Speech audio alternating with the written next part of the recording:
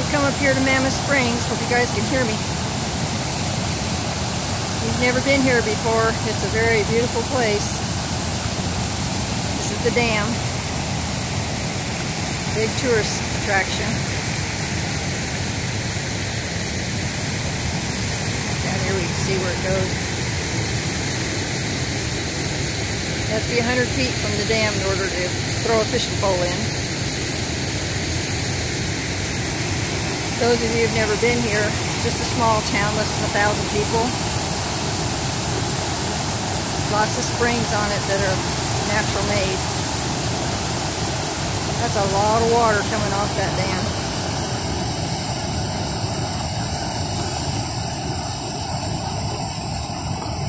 Well, we thought we'd share it with you.